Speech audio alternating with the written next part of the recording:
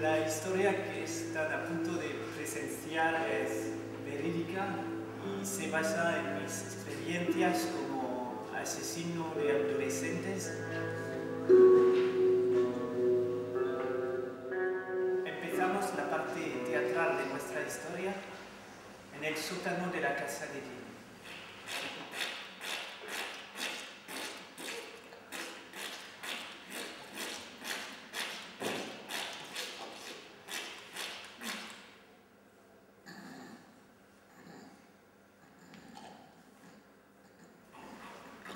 Bueno, Jim, ¿te parece que Benny está muerto?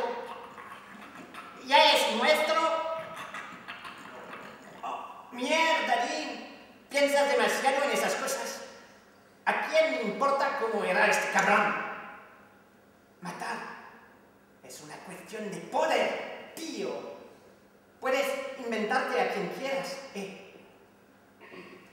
Imagínatelo en el cuerpo del cabrón este.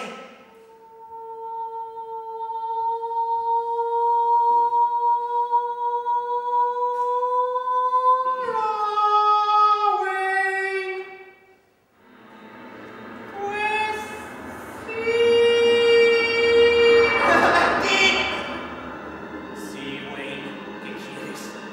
Para de hacerle eso a Jimmy.